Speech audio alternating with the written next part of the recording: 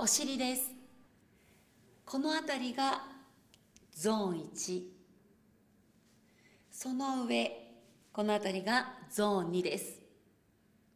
グリッドを体の横に置き肘で体を支えながらグリッドにゾーン1を乗せます。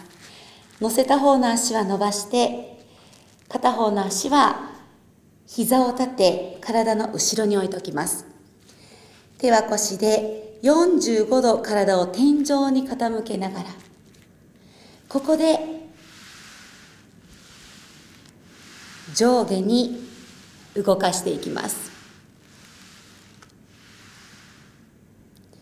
次に前後に4回動かします。ゾーン2です。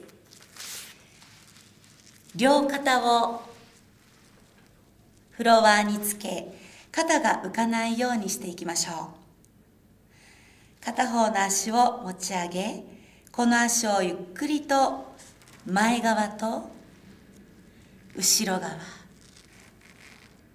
動かしていきます。